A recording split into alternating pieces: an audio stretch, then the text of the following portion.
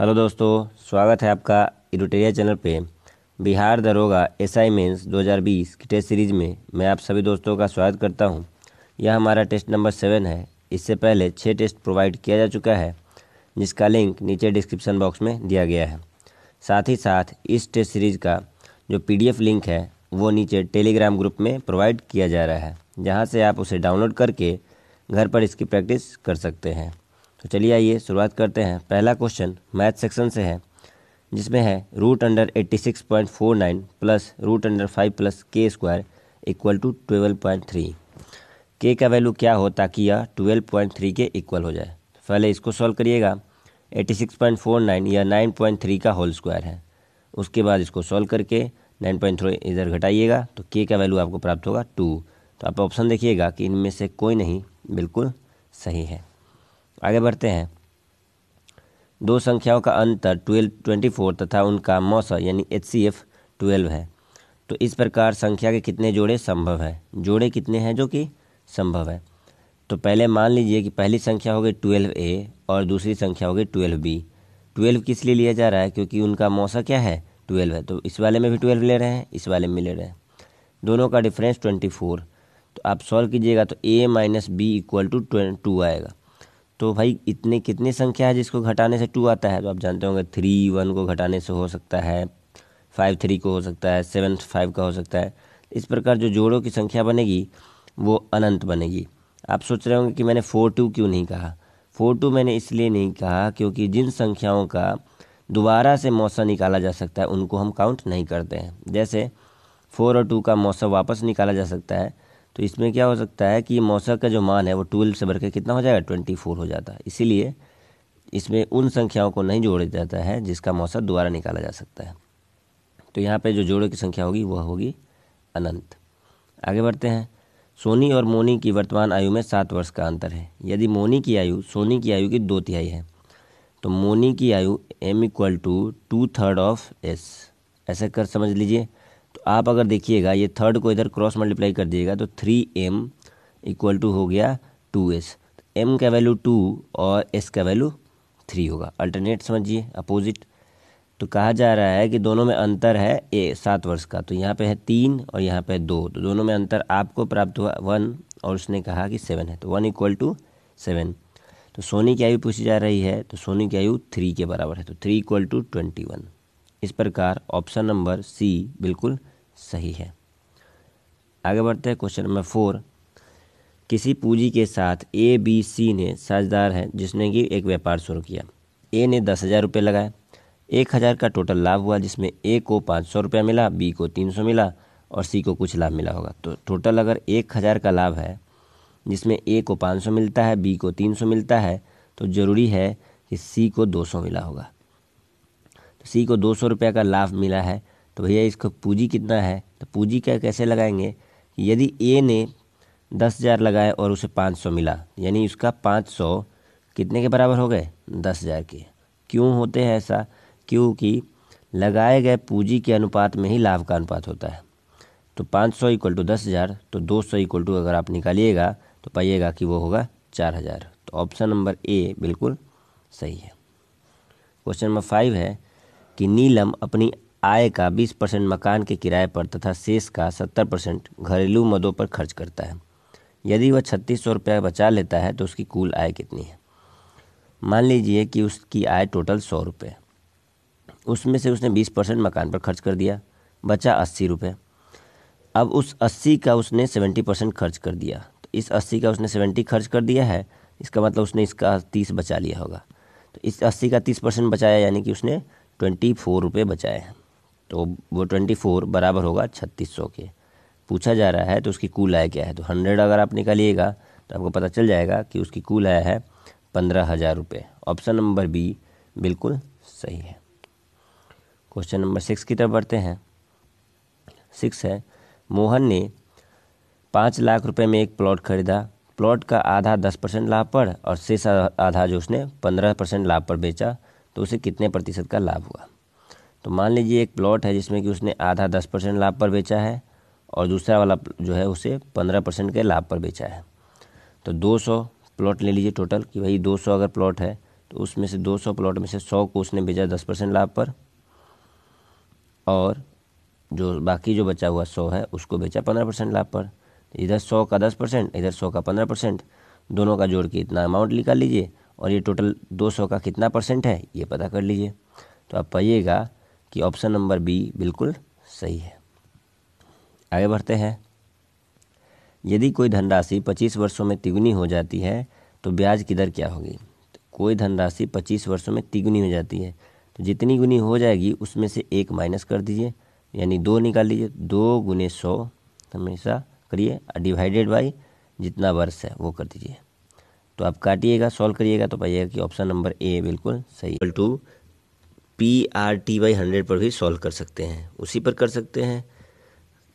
जैसे कि इसमें एस आई जो होगा, वो तीन गुना जो उसको अमाउंट मिल रहा है, उसमें दो ब्याज होगा टू पी और ये पी से पी कैंसिल आउट हो जाएगा। आर आपको ज्ञात करना है टी पच्चीस दिया हुआ है। बस सॉल्व कर लीजिए, पच्चीस चूँकि सौ, और चार दुनी आठ। तो ऑप्शन नंबर ए बिल्कुल सही है। आगे बढ़ते हैं। क्वेश्चन नंबर आठ। ए तथा बी किसी दीवार को अलग अलग क्रमशः दस दिन और पंद्रह दिन में बना सकते हैं। तो दोनों एक साथ काम करें तो सप्ताह समाप्त करने के लिए बी काम कितने दिन पहले छोड़ दे ताकि टोटल आठ दिन में दीवार बन जाए। तो मान लीजिए कि दोनों ने मिलकर आठ दिन काम किया। पहले दोनों का एब्सेंसी निकालिए। ए दस दिन में करता है और बी जो है पंद्रह दिन में करता है। टोटल तीस काम हुआ और इसकी एब्सेंसी हो गई थ्री और टू। और ये तीन एक दिन में काम करेगा और ये दो काम करेगा। तो दोनों मिलकर एक दिन में पाँच काम करते हैं। आठ दिन काम करेंगे टोटल। तो इसका मतलब है कि आठ दिनों में उन्होंने चालीस काम किया और काम टोटल थर्टी है। तो दस काम वैसे काम है जो एक्स्ट्रा आपने करवाया है। वो दस काम बी ने नहीं किया, बल्कि आपने उसे ज़बरदस्ती करवाया। तो बी जो दस काम करेगा, वो टोटल पाँच दिनों में करेगा। क्यों? क्योंकि बी की एफिशिएंसी दो है। तो पाँच दिन उसने काम नहीं किया, फिर भी आपने उसे दस काम जोड़ करके थर्टी को फोर्टी कर दिया था। तो इस प्रकार ऑप्शन डी बिल्कुल सही है। आगे बढ़ते हैं क्वेश्चन नंबर नौ। कि t tan theta equal to one by root third है तो कॉस थीटा का मान ज्ञात करें। आप जानते होंगे कि टेन थर्टी डिग्री का मान होता है वन बाई रूट थ्री तो कॉस थर्टी डिग्री का मैन वैल्यू होता है रूट थ्री बाई टू अगला है, चित्र में ओ केंद्र है और ए ओ बी नब्बे डिग्री है। ए ओ बी नब्बे डिग्री है, ये नब्बे है और ए ओ सी एक सौ दस है। तो ये नब्बे और एक सौ दस टोटल हो गया दो सौ तो बी ओ सी हो गया एक सौ साठ। तो बी ए सी का मान ज्ञात करते हैं। तो केंद्र पर जो बना कोण होता है वो परिधि पर बनाए गए कोण का दुगना होता है। तो केंद्र पर है 160 तो परिधि पर जो कोण बनेगा वो होगा 80 तो ऑप्शन सी बिल्कुल सही है। अगला प्रश्न है उस संख्या युग्म का चयन कीजिए जिसमें दो संख्याएँ उस संख, उस तरह संबंधित है जैसे दिए गए युग्म में है। तो युग्म में जो संख्या संबंधित है वो चेक करिए पहले कि टू और एट को जोड़ने पर टेन आता है। और इसी अट्ठाईस में दस जोड़ दिया गया है ताकि वह अड़तीस आ जाए। यानी इन दोनों को ऐड को उस संख्या में जोड़ दिया गया है। तो ऑप्शन सी में देखिए कि सिक्सटी थ्री में फिर सिक्स और थ्री को ऐड करके जोड़ दिया गया है ताकि ये सेवेंटी टू आ जाए। तो ऑप्शन नंबर सी बिल्कुल सही है। अगला प्रश्न है, निम्नलिखित समीकरणों को सही रूप से हल करने के लिए किन दो चिन्हों को आपस में बदलना चाहिए? इसमें कौन से दो चिन्ह हैं जिसको आपस में बदल दिया जाए ताकि वह थर्टीन के इक्वल हो जाए? तो इस प्रश्न में आप देखिएगा कि यदि माइनस और डिवाइड को आपस में बदल दिया जाए तो इसका आंसर थर्टीन आ जाता है। आगे बढ़ते हैं, क्वेश्चन नंबर थर्टीन। एक ही पासे की अलग अलग स्थितियाँ दर्शाई गई है तो एक के विपरीत कौन सा है? आप देखिए कि इसमें फाइव कॉमन है, दोनों में। यदि आप इसके लेफ़्ट से चलिएगा, इसमें भी लेफ़्ट से देखिएगा तो लेफ़्ट में पहली बार आता है फोर इसके लेफ़्ट में पहली बार आता है वन तो वन के अपोजिट में क्या हो गया? फोर अगला वाला बढ़ेंगे तो अगली वाला इसमें मिलेगा थ्री और इसमें मिलेगा सिक्स इस प्रकार थ्री का अपोजिट होगा सिक्स वन का अपोजिट होगा फोर और जो बाकी बच गया, वो एक दूसरे के अपोजिट होंगे, वो होगा टू और फाइव आगे बढ़ते हैं। संख्या के उस समुच्चय का चयन कीजिए, जो निम्नलिखित समुच्चय के समान है। इनमें जो रिलेशन है, वो रिलेशन अगला किसमें होगा? तो यहाँ देखिए, चार का स्क्वायर सोलह प्लस तीन। कितना हो गया? उन्नीस। यानी फ़र्स्ट वाले के स्क्वायर को सेकेंड वाले में ऐड करके तीसरी संख्या लिखी गई है। तो ऑप्शन नंबर बी देखिए सिक्स का square thirty six plus four वो हो गया इक्वल टू फोर्टी तो ऑप्शन बी बिल्कुल सही है। आगे बढ़ते हैं। उस वेन आरेख का चयन कीजिए जो निम्नलिखित श्रेणियों के बीच सही संबंध को दर्शाता है। तीन नाम दिए गए विद्यार्थी, खिलाड़ी और दर्शक। इसको वेन डाइग्राम के माध्यम से दर्शाना है। तो विद्यार्थी खिलाड़ी भी हो सकता है, खिलाड़ी दर्शक भी हो सकता है और विद्यार्थी भी दर्शक हो सकता है। इस पर क्या ऑप्शन सी बिल्कुल सही है। प्रश्न है, यदि किसी कूट भाषा में T I J E R को S U H J F H D F Q S लिखा जाता है तो उसी भाषा में इसे किसी, किस रूप में लिखा जाएगा? तो T I J E R को इस रूप में लिखा गया है। तो आप देखिए कि टी से जस्ट आगे वाले और पहले वाले वर्ड्स को लिखा गया है। तो उसी पर अब देखिएगा कि किससे पहले वाला वर्ड जी है और उससे बाद वाला एच है आई है। तो वो वर्ड है एच एच से पहले आता है जी उससे बाद आता है आई तो इस प्रकार आप देखिएगा कि ऑप्शन बी बिल्कुल सही है, क्योंकि ये हॉर्स को ही इस रूप में लिखा गया है। आगे बढ़ते हैं अगले क्वेश्चन की तरफ़। अगला क्वेश्चन है, दी गई आकृति बनाने के लिए आवश्यक सीधी रेखाओं की न्यूनतम संख्या ज्ञात कीजिए। तो इस आकृति को बनाने के लिए न्यूनतम कितने डंडों की आवश्यकता होगी? जैसे एक हो गया, ये बड़ा वाला दो हो गया, ये बड़ा वाला तीन है, ये चार है, ये पाँच है, ये छः है, ये सात है, ये आठ है, ये नौ है, ये दस ग्यारह, बारह और एक तेरह। टोटल आपको तेरह डंडों की आवश्यकता होगी। आगे बढ़ते हैं। आकृति जेड को खोलने पर कौन सा चित्र प्राप्त होगा? तो जेड जो आकृति है, यदि मैं इसको खोलता हूँ तो इस प्रकार की आकृति आपको प्राप्त होगी। इसमें जो ऑप्शन नंबर सी देख रहे हैं, वो बिल्कुल सही है। आगे बढ़ते हैं। एक परिवार में छः सदस्य हैं A B C D E और एफ़ ए और बी विवाहित जोड़े हैं। ए पुरुष सदस्य है डी सी का एकमात्र पुत्र है और जो ए का भाई है ई डी की बहन है बी एफ़ की पुत्रवधु है, जिससे पति की मृत्यु हो चुकी है।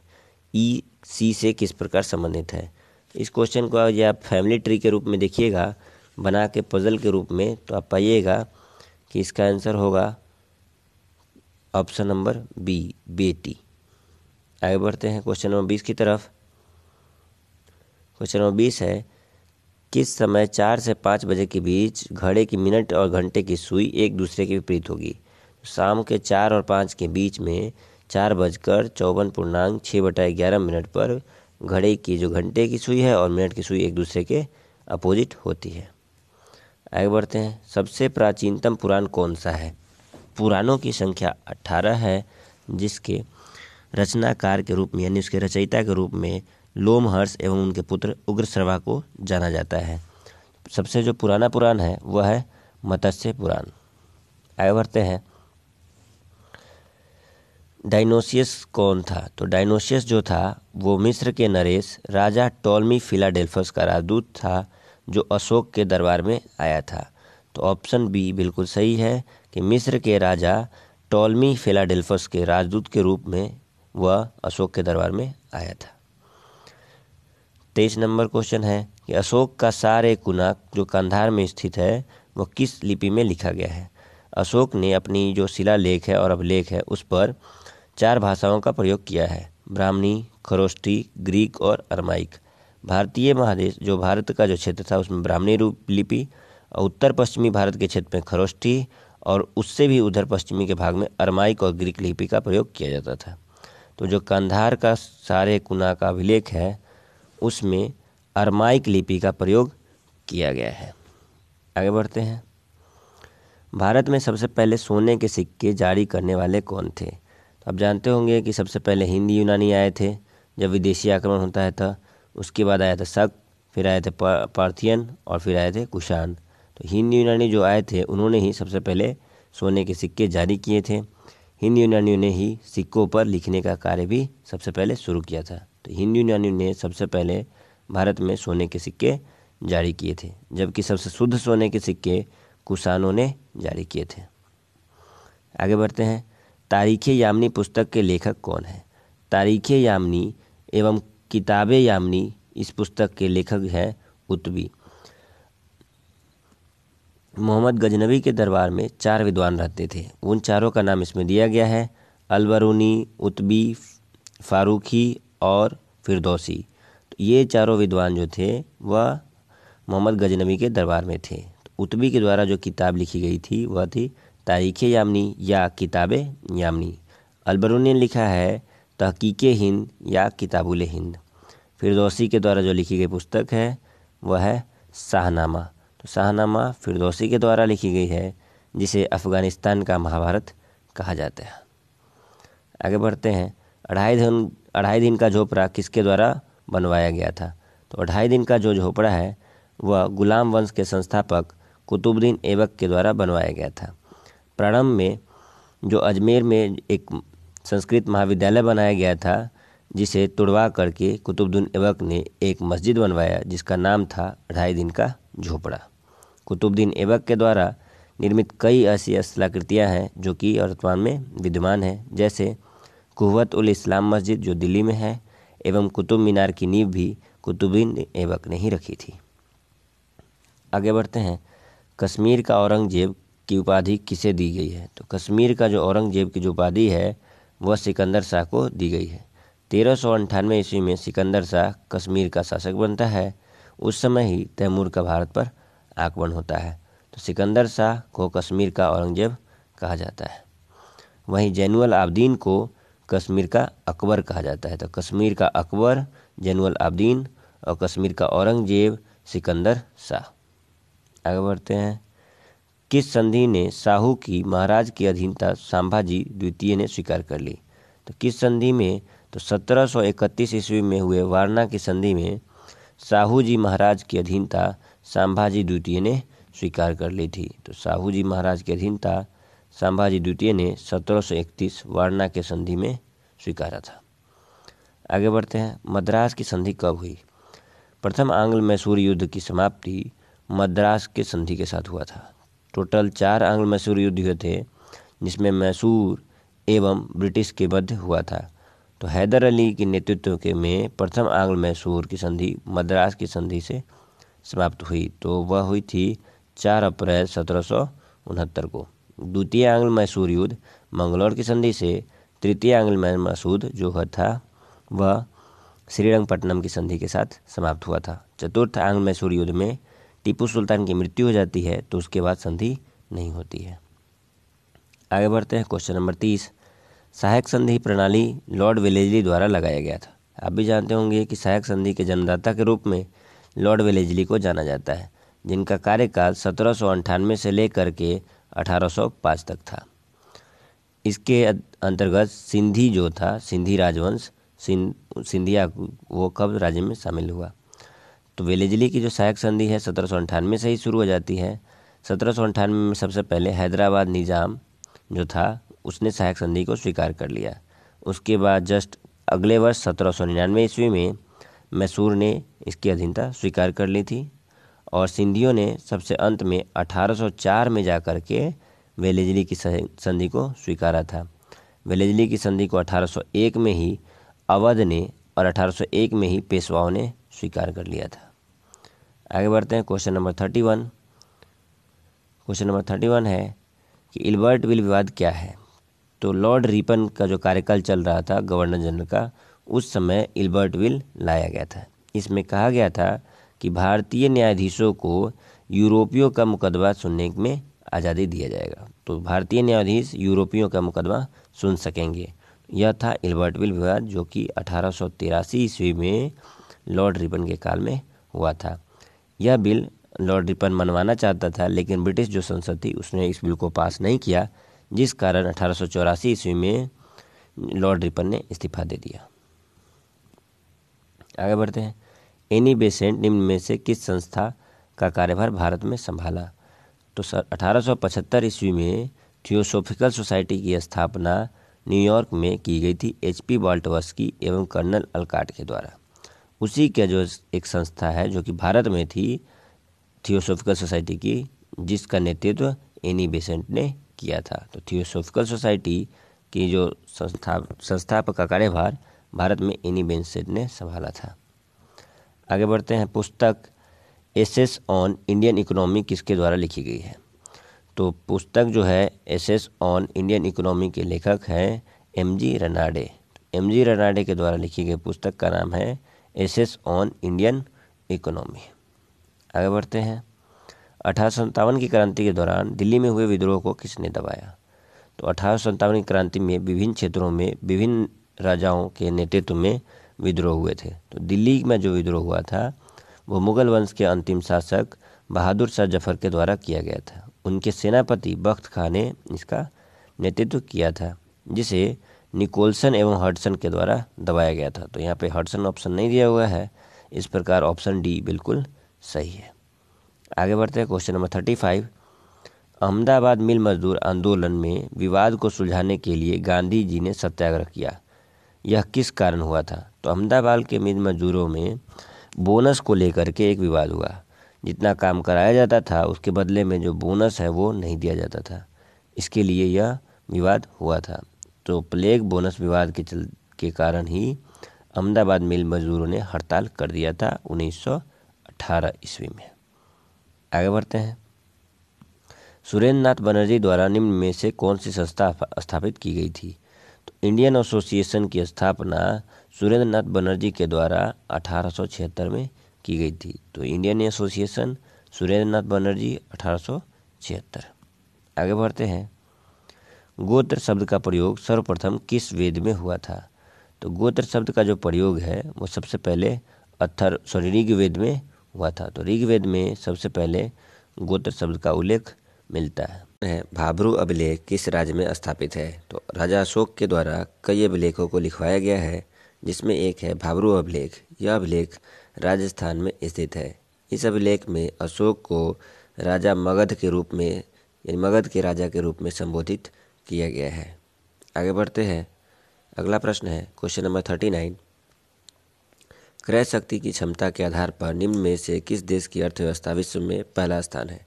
तो क्रय शक्ति की क्षमता के अनुसार पर विश्व में पहला स्थान चीन का है। वहीं यूएसए का दूसरा स्थान है और भारत का तीसरा स्थान है और जापान का चौथा स्थान है। तो जो क्रम दिया हुआ है, इसमें ऑप्शन के साथ वो बिल्कुल सही है कि पहले स्थान पर चीन है, दूसरे स्थान पर यूएसए है और तीसरे स्थान पर भारत है। आगे बढ़ते हैं। क्वेश्चन नंबर फोर्टी किस पंचवर्षीय योजना में मानव संसाधन के विकास को सर्वोच्च प्राथमिकता दी गई थी? तो आठवीं पंचवर्षीय योजना जो वर्ष 92 से 97 के लिए चलाई गई थी, उसमें मानव संसाधन के विकास को सर्वोच्च प्राथमिकता प्रदान की गई थी। तो आठवीं पंचवर्षीय योजना 1992 से 1997 के लिए मानव संसाधन के विकास को सर्वोच्च प्राथमिकता दी गई। आगे बढ़ते हैं। क्वेश्चन नंबर फोर्टी वन जब कोई देश अपनी मुद्रा का अवमूल्यन करता है तो?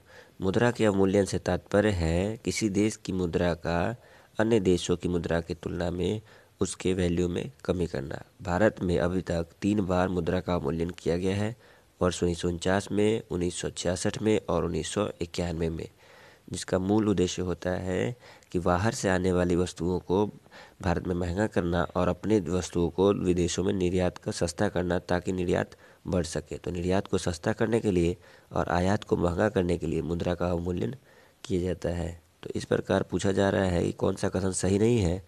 तो कथन दो और कथन तीन सही नहीं है। तो इस ऑप्शन को देखिए। ऑप्शन बी बिल्कुल सही है। आगे बढ़ते हैं। अगला प्रश्न है, क्वेश्चन नंबर फोर्टी टू। भारतीय रिज़र्व बैंक द्वारा बैंक दर में कम वृद्धि कर निम्न में से क्या प्रभाव होगा? तो बैंक दर में यदि भारतीय रिज़र्व बैंक वृद्धि करता है तो इसका मूल उद्देश्य होता है कि बाज़ार में जो रुपये की तरलता है, रुपये की मात्रा है, उसको कम करना। तो मुद्र, मुद्रा की जो आपूर्ति बाज़ार में है, उसके, उसमें कमी आएगी और बैंकों का जो साख सृजन है, उसकी क्षमता में क्या होगा? इसमें भी वृद्धि आएगी। तो ऑप्शन आप देखिएगा कि ऑप्शन बी बिल्कुल सही है। आगे बढ़ते हैं। क्वेश्चन नंबर फोर्टी थ्री विश्व आर्थिक परिदृश्य रिपोर्ट निम्न में से किस संस्था के द्वारा जारी किया जाता है? दो रिपोर्ट है, एक है विश्व आर्थिक परिदृश्य रिपोर्ट और दूसरा वैश्विक वित्तीय स्थिरता रिपोर्ट। ये दोनों ही आईएमएफ के द्वारा जारी किए जाते हैं। अंतर्राष्ट्रीय मुद्रा कोष के द्वारा यह जारी किया जाता है। आईएमएफ की स्थापना 1945 में की गई थी। आगे बढ़ते हैं। निम्न में से किस राज्य क्षेत्र में क्षेत्रीय ग्रामीण बैंक कार्यरत नहीं है? दो ऐसे राज्य हैं, गोवा और सिक्किम, जहाँ पे क्षेत्रीय ग्रामीण बैंक कार्यरत नहीं है। क्षेत्रीय ग्रामीण बैंक यानी आरआरबी रीजनल रूरल बैंक की स्थापना 2 अक्टूबर 1975 को की गई थी। यह सिक्किम एवं गोवा को छोड़ करके बाकी सभी राज्यों में कार्यरत है। तो ऑप्शन आप देखिएगा कि ऑप्शन सी बिल्कुल सही है। अगला प्रश्न है क्वेश्चन नंबर फोर्टी फाइव है, राज्यसभा के संदर्भ में निम्न में से कौन सा कथन सही है? तो सही पूछा जा रहा है राज्यसभा के संदर्भ में। राज्यसभा एक अस्थायी सदन है। जी हाँ दोस्तों, राज्यसभा एक अस्थायी सदन है। इसे उच्च सदन एवं विशेषज्ञों के सदन के रूप में भी जानते हैं। प्रत्येक दो वर्ष के पश्चात इसके दो तिहाई सदस्य अवकाश ग्रहण करते हैं। जी नहीं, इसके एक तिहाई सदस्य प्रत्येक दो वर्षों के पश्चात अवकाश ग्रहण करते हैं और प्रत्येक सदस्यों का कार्यकाल छः वर्ष का होता है। राज्यसभा के सदस्यों का चुनाव प्रत्यक्ष रूप से होता है। जी नहीं राज्यसभा के सदस्यों का चुनाव अप्रत्यक्ष रूप से होता है। इस प्रकार दो और तीन गलत है। चौथा देखते हैं। उपराष्ट्रपति को हटाने के लिए राज्यसभा में ही प्रस्ताव लाया जाता है। उपराष्ट्रपति राज्यसभा का सभापति होता है। इसलिए उपराष्ट्रपति को हटाने का प्रभाव राज्यसभा में ही लाया जाता है। तो इस प्रकार वन और फोर सही है। दो और तीन गलत है। तो आप देखिए, ऑप्शन सी बिल्कुल सही है। क्वेश्चन नंबर फोर्टी सिक्स है। उपराष्ट्रपति के चुनाव के निर्वाचक मंडल में शामिल होते हैं। तो उपराष्ट्रपति के जो चुनाव में निर्वाचक मंडल में शामिल कौन कौन होते हैं? संसद के दोनों सदस्यों के निर्वाचित एवं मनोनीत सभी सदस्य, संसद के दोनों सदन के सभी सदस्य उपराष्ट्रपति के निर्वाचन में शामिल होते हैं। तो इस प्रकार ऑप्शन डी बिल्कुल सही है। अगला प्रश्न है क्वेश्चन नंबर फोर्टी सेवन। राष्ट्रपति पर महाभियोग की प्रक्रिया संविधान के किस अनुच्छेद में वर्णित है? राष्ट्रपति पर महाभियोग की प्रक्रिया हमने यूएसए से लिया है और यह भारतीय संविधान के अनुच्छेद इकसठ में वर्णित है। राष्ट्रपति पर महाभियोग की प्रक्रिया अनुच्छेद सिक्सटी वन और राष्ट्रपति के द्वारा क्षमादान अनुच्छेद बहत्तर में वर्णित है। आगे बढ़ते हैं। स्वतंत्र भारत के पहले मंत्रिमंडल में डॉक्टर राजेंद्र प्रसाद को किस विभाग का मंत्री बनाया गया था? तो डॉक्टर राजेंद्र प्रसाद जो बने थे, वो बने थे खाद्य एवं कृषि मंत्री।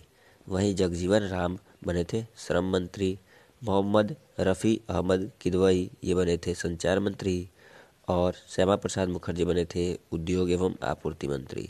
तो श्यामा प्रसाद मुखर्जी उद्योग एवं आपूर्ति मंत्री, अहमद किदवई संचार मंत्री, खाद्य एवं कृषि मंत्री बने थे राजेंद्र प्रसाद और जगजीवन बाबू बने थे श्रम मंत्री।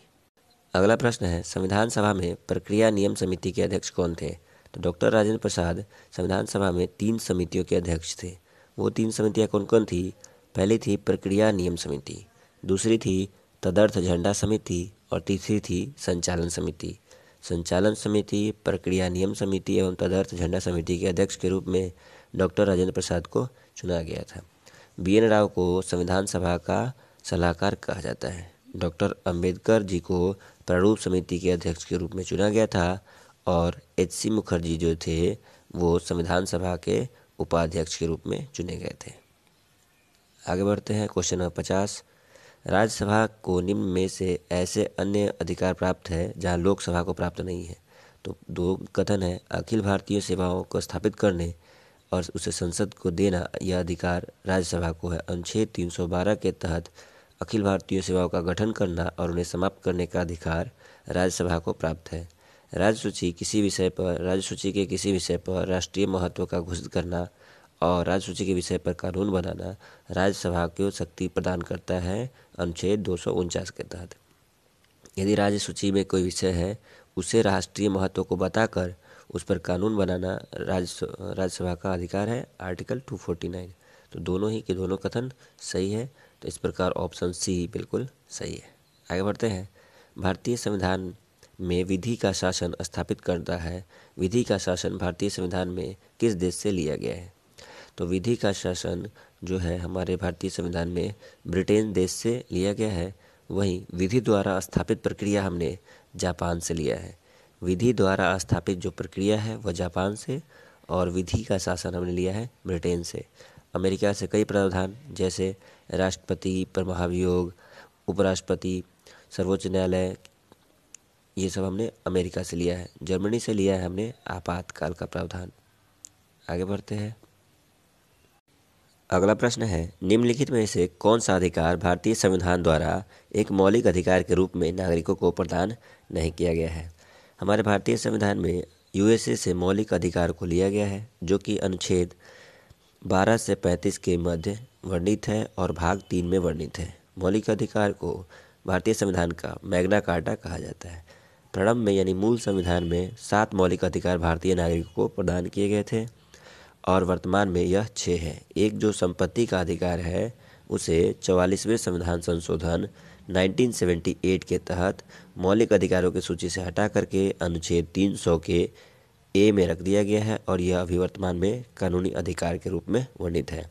और अभी वर्तमान में मौलिक अधिकार छः हैं, वो कौन कौन है? समता का अधिकार, स्वतंत्रता का अधिकार, शोषण के विरुद्ध अधिकार, धार्मिक स्वतंत्रता का अधिकार, संस्कृति एवं शिक्षा का अधिकार एवं संवैधानिक उपचारों का अधिकार। ये मौलिक अधिकार है, जो कि भारतीय संविधान में अभी भी वर्णित है। आगे बढ़ते हैं। क्वेश्चन नंबर फिफ्टी थ्री, अनुच्छेद एक सौ चौदह जो संबंधित किससे है तो अनुच्छेद एक सौ चौदह का संबंध है विनियोग विधेयक से। लेखा अनुदान का संबंध है अनुच्छेद एक सौ सोलह से वित्त विधेयक का संबंध है अनुच्छेद एक सौ सत्रह से। तो विनियोग विधेयक अनुच्छेद एक सौ चौदह। आगे बढ़ते हैं क्वेश्चन नंबर फिफ्टी फोर से, किस प्रधानमंत्री ने उप प्रधानमंत्री के रूप में भी कार्य किया है? तो भारत में दो ऐसे व्यक्ति हुए हैं, जिन्होंने उप प्रधानमंत्री एवं प्रधानमंत्री दोनों ही रूपों में कार्य किया है। वो व्यक्ति कौन है? तो एक है मोरारजी देसाई और वही दूसरे हैं चौधरी चरण सिंह। मोरारजी देसाई एवं चौधरी चरण दो ऐसे प्रधानमंत्री हैं, जिन्होंने उप प्रधानमंत्री के रूप में भी कार्य किया है। आगे बढ़ते हैं। पंचगनी किस राज्य में स्थित है? तो पंचगनी जो पर्वत है, वह महाराष्ट्र में स्थित है। तो महाबलेश्वर, त्र्यंबकेश्वर, पंचगनी ये तीनों ही महाराष्ट्र में स्थित पहाड़ी है। और पर्वतीय नगर है। आगे बढ़ते हैं। बॉस इंडिकस निम्नलिखित में से किसका वैज्ञानिक नाम है? आप जानते होंगे कि बॉस इंडिकस गाय का जो वैज्ञानिक नाम है तो बॉस इंडिकस गाय का वैज्ञानिक नाम है।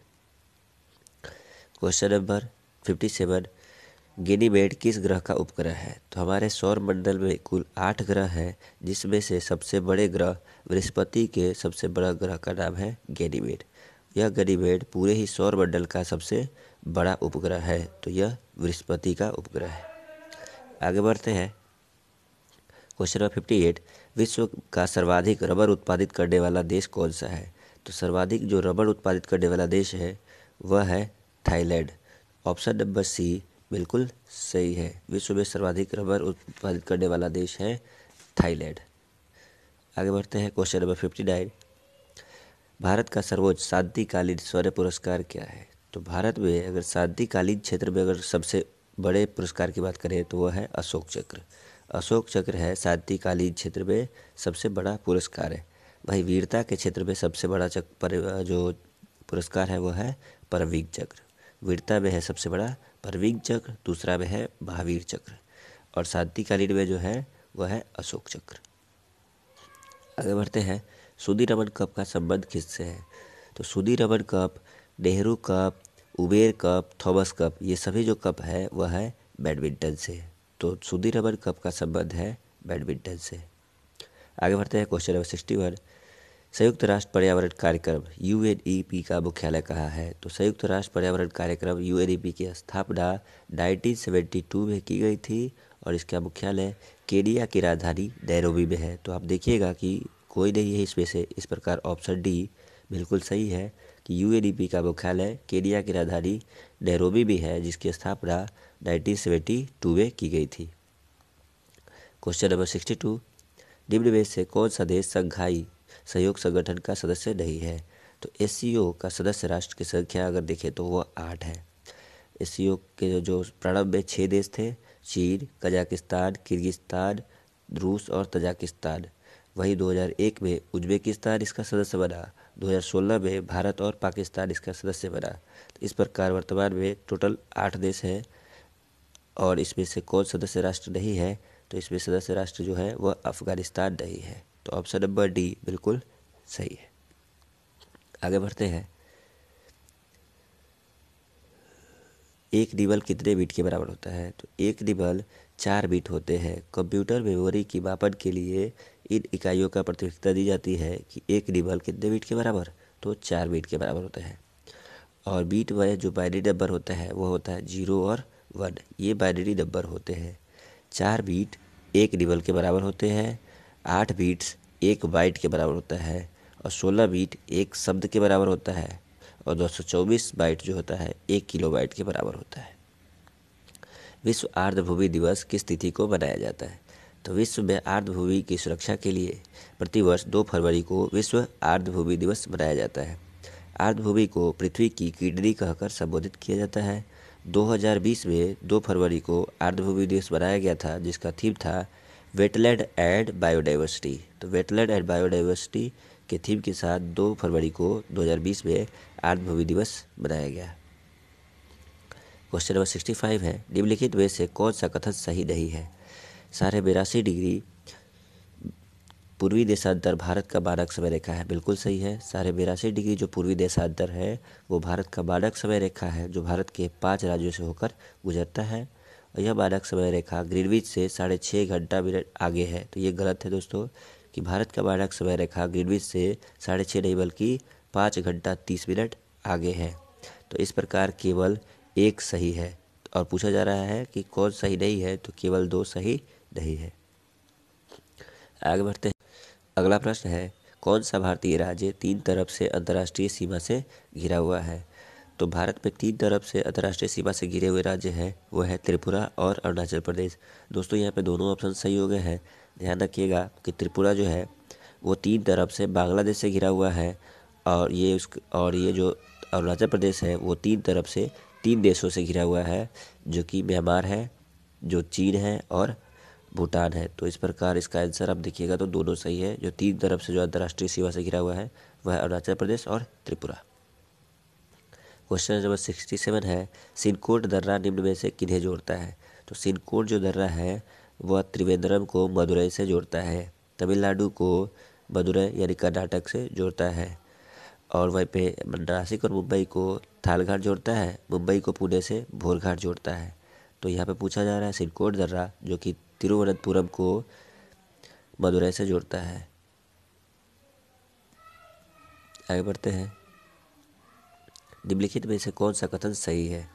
तो कावेरी प्रायद्वीपीय भारत की सबसे लंबी नदी है। यह गलत है दोस्तों। गोदावरी नदी, जिसकी लंबाई चौदह किलोमीटर है यह बूढ़ी गंगा के रूप में जानी जाती है। वह दक्षिण भारत यानी कि प्रायद्वीपीय भारत की सबसे लंबी नदी है। शिव समुद्रम जलप्रपात कावेरी नदी पर है। जी हाँ दोस्तों, यह बिल्कुल सही है। शिव समुद्र जलप्रपात कावेरी नदी पर कर्नाटक में स्थित है। तो इस प्रकार ऑप्शन जो केवल दो सही है, ऑप्शन बी। तुंगभद्रा निम्न में से किसकी सहायक नदी है? तो तुंगभद्रा जो है, वह कृष्णा की सहायक नदी है। तुंगभद्रा, मूसी, पंचगंगा, दूधगंगा, ये सभी ही कृष्णा की सहायक नदी है। गोदावरी की सहायक नदी की बात करें तो प्राणहिता पेनगंगा बेनगंगा, इंद्रावती, ये इसकी सहायक नदी है। कावेरी का महानदी है, सॉरी, महानदी बोल रहा हूँ मैं। अमरावती है और महानदी का जो सहायक नदी है, वह है तेल नदी। आगे बढ़ते हैं। पंपा सरोवर झील कहाँ है? पंपा सरोवर जो झील है, वह कर्नाटक में स्थित है। पंपा सरोवर झील कर्नाटक में स्थित है। आगे बढ़ते हैं क्वेश्चन नंबर सेवेंटी वन। निम्न में से कौन सा कथन सही है? भारत में सर्वा, सबसे अधिक भूभाग पर जलोढ़ मिट्टी पाई जाती है। तो सबसे अधिक भूभाग पर जलोढ़ मिट्टी पाई जाती है, वह बिल्कुल सही है। भारत के तैंतालीस प्रतिशत क्षेत्रफल और लगभग पंद्रह लाख किलोमीटर स्क्वायर क्षेत्रफल जलोढ़ मिट्टी पाई जाती है। जलोढ़ मिट्टी सबसे उर्वर मिट्टी है, उपजाऊ मिट्टी है। इसमें पोटास की मात्रा अधिक होती है, जबकि ह्यूमस नाइट्रोजन की कमी होती है। जलोढ़ मिट्टी में पोटास एवं चूने की पर्याप्त मात्रा होती है और ह्यूमस और नाइट्रोजन की कमी होती है। ये दोनों के दोनों कथन सही है, इस प्रकार ऑप्शन सी बिल्कुल सही है। आगे बढ़ते हैं। सेचालम, सॉरी, सेसालचलम पहाड़ियाँ, जो कि भारत का जैव मंडल आरक्षित क्षेत्र है वह किस राज्य में स्थित है। तो सेसाचलम पहाड़ियाँ एक जैव मंडल आरक्षित क्षेत्र है। यह भारत के आंध्र प्रदेश राज्य में स्थित है। तो ऑप्शन नंबर बी बिल्कुल सही है। आगे बढ़ते हैं। Question number seventy three. Seventy three है कि अलमाटी बाँध परियोजना किस नदी पर है? तो अलमाटी बाँध जो परियोजना है वह कृष्णा नदी पर है, जो कि कर्नाटक में स्थित है। तो अलमाटी बाँध कृष्णा नदी पर कर्नाटक में स्थित है। आगे बढ़ते हैं। निम्न में से कौन सा एक खरीफ फ़सल नहीं है? तो खरीफ फ़सल उन फ़सलों को बोला जाता है, जिनकी बुआई जो जून से जुलाई में की जाती है और उन्हें सितंबर, अक्टूबर में काटा जाता है। खरीफ फ़सल के उदाहरण के रूप में देखिएगा तो धान, सोयाबीन, अरहर, तिल, मूंग, उड़द, ज्वार, रागी, बाजरा, ये सब खरीफ फ़सल के उदाहरण हैं। तो यहाँ पे पूछा जा रहा है खरीफ नहीं है तो तंबाकू, ज्वार, बाजरा, ये खरीफ है, जौ जो है एक रबी फ़सल है। रबी फ़सल ठंडे के दिनों में होता है, जैसे गेहूँ है, चना है, ये सब रबी फ़सल के उदाहरण है। आगे बढ़ते हैं। काली क्रांति निम्न में के किस, किसके उत्पादन से संबंधित है? तो काली क्रांति का संबंध दोस्तों पेट्रोलियम से है। कोयला से नहीं है, बल्कि पेट्रोलियम उत्पादन से है। तो काली क्रांति, पेट्रोलियम। उर्वरक से जो संबंधित है, वह है भूरी क्रांति। तो उर्वरक से है भूरी और पेट्रोलियम से है काली। आगे बढ़ते हैं। Question number seventy six. Bharat में चांदी का सर्वाधिक उत्पादन करने वाला राज्य कौन है? तो चांदी का सर्वाधिक उत्पादन भारत के राजस्थान में होता है। तो ऑप्शन नंबर बी बिल्कुल सही है। चांदी उत्पादन में राजस्थान सबसे अग्रणी है। क्वेश्चन नंबर सेवेंटी सेवन, दो हज़ार ग्यारह की जनगणना के अनुसार किस राज्य की दशकीय जनसंख्या वृद्धि दर सर्वाधिक है? 2011 में दशकीय वृद्धि दर, यानी 10 साल में किस राज्य की जनसंख्या ने सर्वाधिक वृद्धि किया है? तो वह है मेघालय। मेघालय ने 2001 की जनसंख्या की तुलना में 2011 में जो जनसंख्या वृद्धि दर्ज की है, वह है सत्ताईस दशमलव नौ पाँच प्रतिशत। सत्ताईस दशमलव नौ पाँच प्रतिशत के साथ मेघालय जनसंख्या वृद्धि दर कर, दर में सबसे अग्रणी है। वहीं दूसरे नंबर पर है अरुणाचल प्रदेश और तीसरे नंबर पर है बिहार। बिहार में जो जनसंख्या वृद्धि दर है, वह है, जो दस की ये है, वह है पच्चीस दशमलव चार दो प्रतिशत। आगे बढ़ते हैं। लिम्फू जनजाति किस राज्य में निवास करती है? लिम्फू जो है एक जनजाति है जो कि भारत के सिक्किम राज्य में निवास करती है।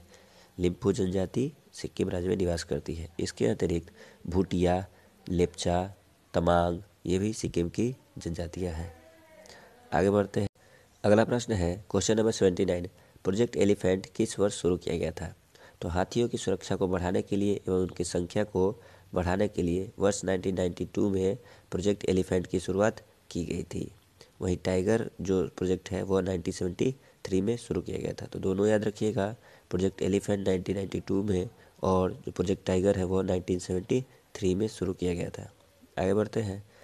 मिलान करना है। एक तरफ़ जो सूची दी गई है, उस यंत्र का नाम दिया गया है और दूसरी तरफ़ जिस यंत्र से वो मापा जाता है, उसका नाम दिया गया है। पायरोमीटर है। जो उच्च तापमापी यंत्र है। उच्च तापमान को मापने के लिए पायरोमीटर का प्रयोग किया जाता है। कैरेट आप जानते होंगे, सोना को कैरेट में मापते हैं। तो कैरेटोमीटर जो है, सोने की शुद्धता का पता लगाता है। लक्स मीटर है, जो प्रकाश से संबंधित है यह प्रकाश की तीव्रता को मापने के लिए प्रयोग किया जाता है। वही आर्द्रता को मापने के लिए हाइग्रोमीटर का प्रयोग किया जाता है।